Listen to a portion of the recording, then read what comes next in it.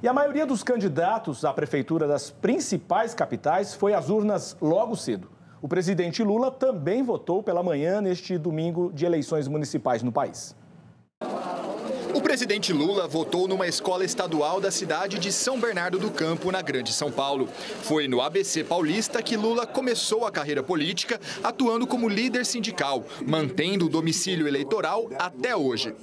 Na capital paulista, o prefeito Ricardo Nunes, candidato à reeleição pelo MDB, votou nesta escola no bairro Socorro, zona sul da capital paulista, onde estudou na infância. Foi acompanhado da esposa Regina, do governador Tarcísio de Freitas e do filho do ex-prefeito Bruno Covas. Depois acompanhou o governador Tarcísio de Freitas em sua sessão eleitoral, no bairro do Morumbi, também na Zona Sul. O candidato à prefeitura pelo PSOL, Guilherme Boulos, votou neste centro educacional unificado no Campo Limpo, Zona Sul da cidade. Ele estava acompanhado da candidata a vice, Marta Suplicy, e da ministra do Meio Ambiente e Mudança do Clima, Marina Silva.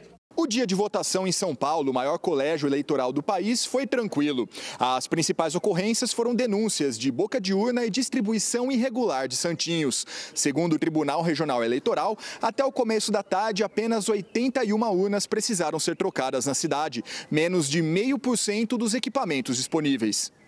No Recife, o prefeito João Campos, do PSB, lidera as pesquisas com folga para se reeleger no primeiro turno. Ele votou no bairro de Apipucos, na zona norte da cidade. No Rio de Janeiro, as pesquisas também colocam o prefeito Eduardo Paes, do PSD, como favorito para a reeleição no primeiro turno. Ele votou no Gávea Golf Clube, na zona sul da cidade.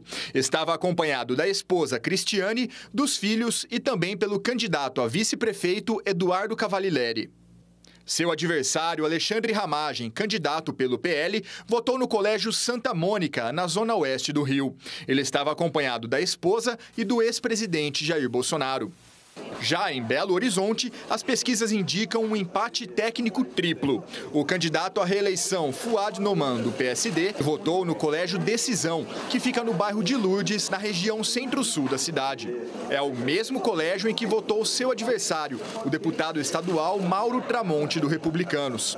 Também no centro-sul, mas no bairro Serra, votou Bruno Engler, do PL, acompanhado da candidata a vice, Cláudia